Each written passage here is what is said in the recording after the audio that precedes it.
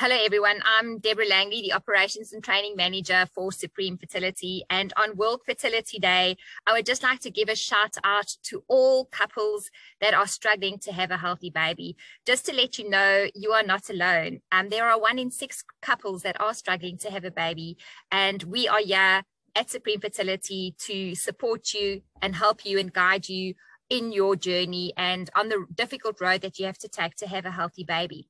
And we do this through our natural and non invasive fertility program that is based on the latest field of research called epigenetics and nutrigenomics. Uh, this gives us, uh, we do DNA testing as well on the husband and the wife, which gives us um, customized information and insight into your weaknesses and how this could be affecting your reproductive health.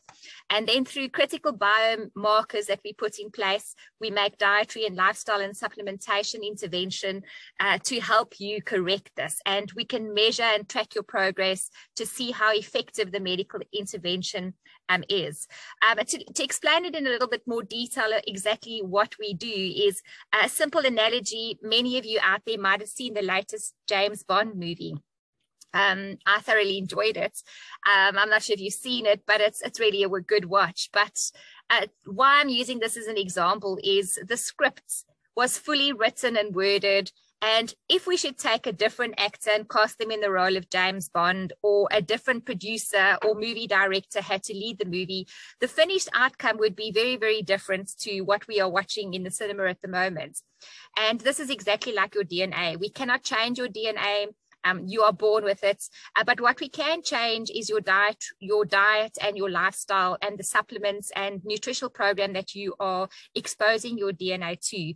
And through this, the, the critical outcome of your reproductive health can be very different. And that's what we really want to help you with.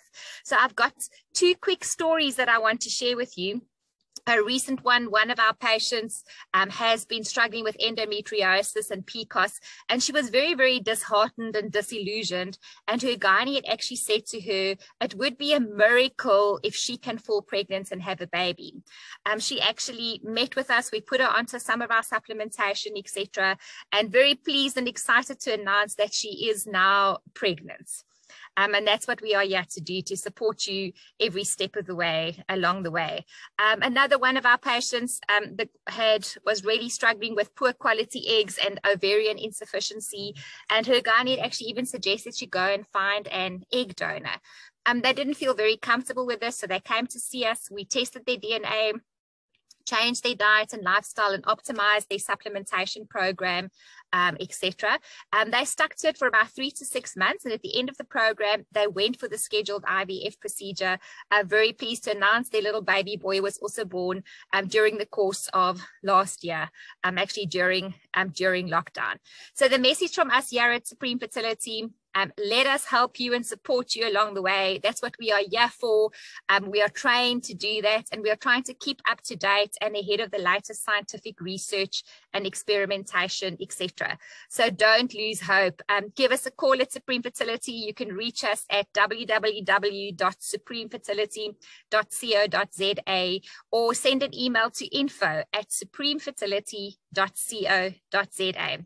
Um, so don't lose hope. Our naturally not and non-invasive fertility program might be just what you need.